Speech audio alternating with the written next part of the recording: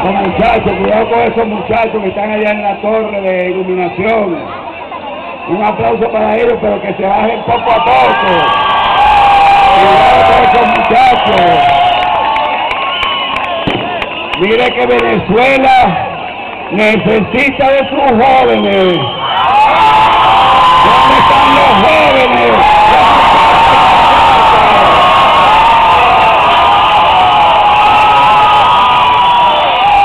¿Dónde están los universitarios?